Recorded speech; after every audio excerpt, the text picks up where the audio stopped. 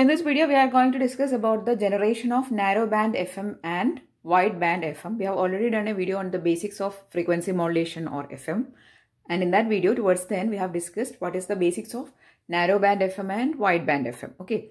So in this video, we'll be discussing about how to generate these signals and what is the equation for these signals. Okay. So first let us see generation of a narrowband FM. So before seeing the block diagram of generation, we are going to see how the wave equation will be looking like. Okay. So for the case of generally FM, the equation is like this. AC cos 2 pi fct plus 2 pi kf integral m of t dt where m of t is the modulating signal. kf is the frequency sensitivity. This fc is the frequency of your carrier wave. ac is the amplitude of the carrier wave. So here amplitude is same as that of the original carrier. Only there is a change in the frequency part since it is frequency modulation. Okay, I hope this basics you know. So here, if you look into this equation, this is actually a cos term, right? There is a cos term and in that there is two terms added together. So if you consider these two terms are as A and B, we can perform or we can give the equation for cos A plus B. And if you expand cos A plus B in the above equation, you will get an equation like this. That is A, sorry, AC cos 2 pi fc of t. That is A. Then cos 2 pi kf integral m of t dt. That is B. So this term is cos A cos B minus sin A sin B. Right. And AC is common to both the terms. Okay, so we have expanded cos A plus B as cos A cos B minus sin A sin B. Okay. Now for a narrow band FM, we know that modulation or mod, not modulation, it is mod 2 pi kf integral m of t dt will be very much lesser than 1. Okay. And it is coming as an angle term to cos and sine. So when the angle is very less, we know that cos theta is approximately equal to 1 and sine theta is approximately equal to theta. Okay. When theta is very much less than 1. So this approximations also we have to put here. And on substituting, you'll get this term as 1. See here, it has vanished. And this term will be equal to its angle value. Okay, so this is how you reduce the equation and find the value for a narrow band FM. Okay, so the final equation is like this. AC cos 2 pi fc of t minus AC sine 2 pi fc of t into this term. Now, why this term is coming? Because we know that for small angles of, uh, for small values of theta, the sine theta will be equal to theta. So the theta term is as it is. Sine term has vanished. Okay. So this is how you produce a narrow band FM equation. Now let us see how to generate this using block diagram. Okay. So this is the block diagram of a narrow band FM generation. And here we are going to feed our carrier wave here. It is directly getting fed, uh, fed to the summing unit and also to a minus 90 degree phase shifter. Okay, our aim is to produce this equation. Okay, so here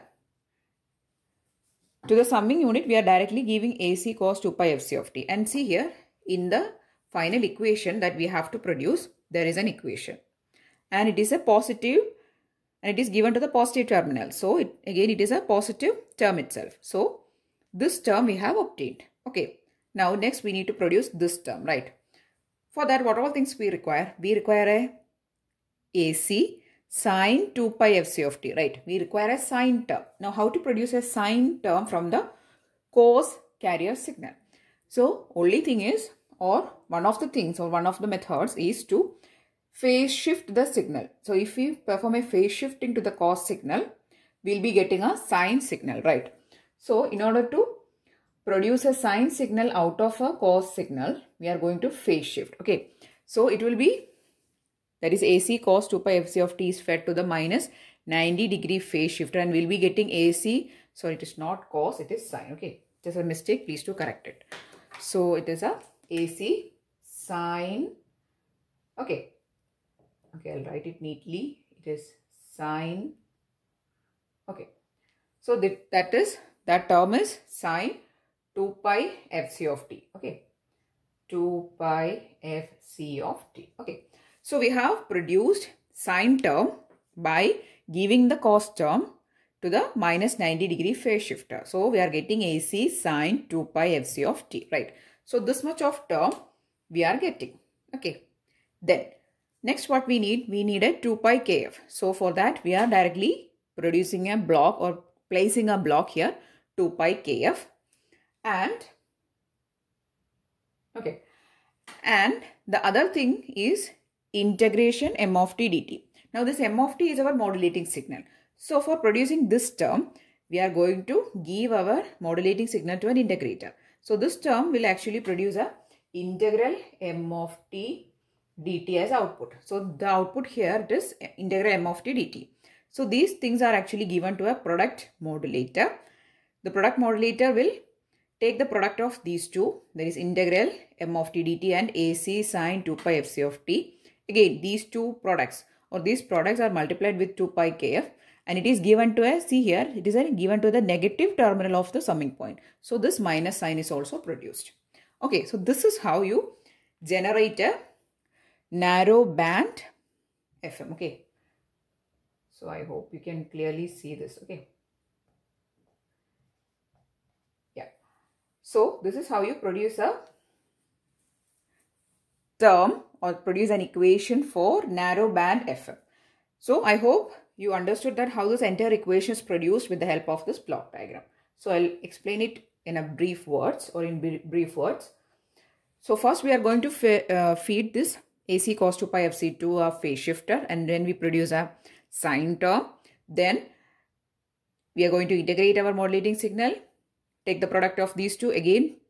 The product is again multiplied with this 2 pi kf and is given to the negative terminal. So we'll get a negative. So this is how we generate a narrowband frequency modulated wave. Okay, next we are going to see about the wide band frequency modulated wave. So the main difference between the narrowband FM and the wideband FM is just like the name is indicating for narrowband FM the frequency range or the frequency of operation is very less whereas for wideband operation or wideband FM, it is having a larger range of frequency. Okay, so the main difference is happening in the frequency and also in the modulation index. Modulation index is lesser than 1 for narrowband FM. For wideband FM, it will be very much greater than 1. So there are two methods that we can adopt for generation of wideband FM. The first method is called direct method where we are going to use a voltage control oscillator and we produce a wideband FM. Then next one is an indirect method. So in indirect method, what we are going to do is we are going to use a narrowband FM modulator or a generator. Then we are going to multiply the frequency. Okay, so the output will be wideband wave itself. Okay, so these are the two methods which we can adopt for generation of wideband FM. So let us see the block diagrams one by one. Okay, so here for the direct method, we are going to use a voltage control oscillator. Now the voltage control oscillator is a device which is going to produce an output signal whose frequency will be varied in accordance with the modulating signal. That is the amplitude of the modulating signal. Okay. So here we can think uh, this generation method just like the generation of any normal FM wave. Okay. So that is the voltage control oscillator method. So the voltage control oscillator it will produce a output signal whose frequency is proportional to the input signal voltage. Okay.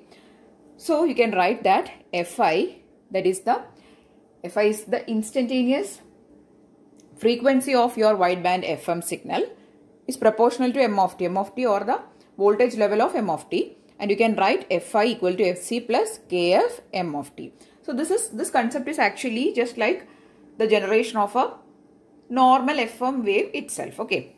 So we are actually considering that here the frequency range will be much greater.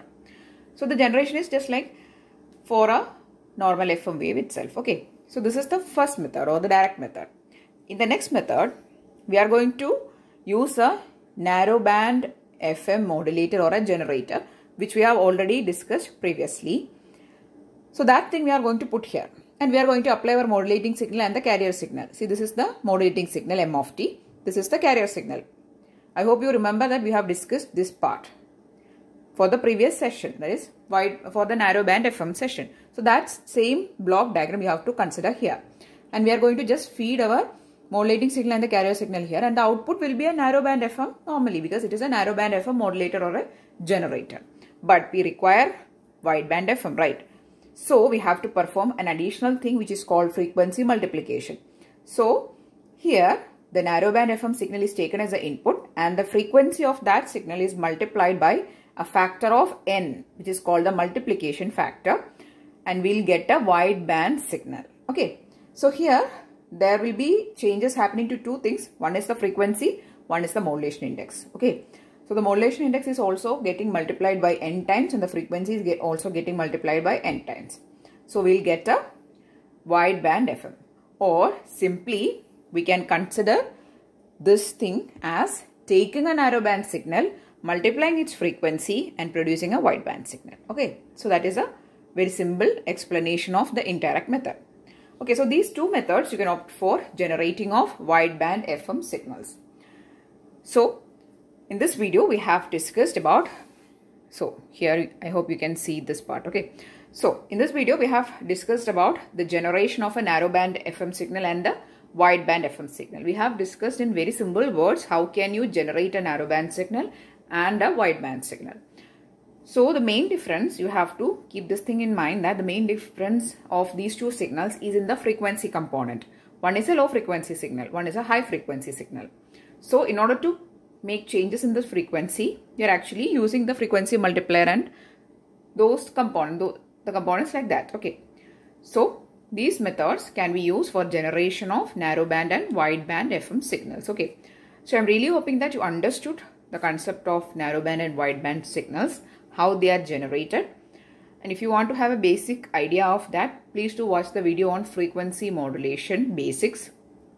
Towards the end, I have included this also, okay.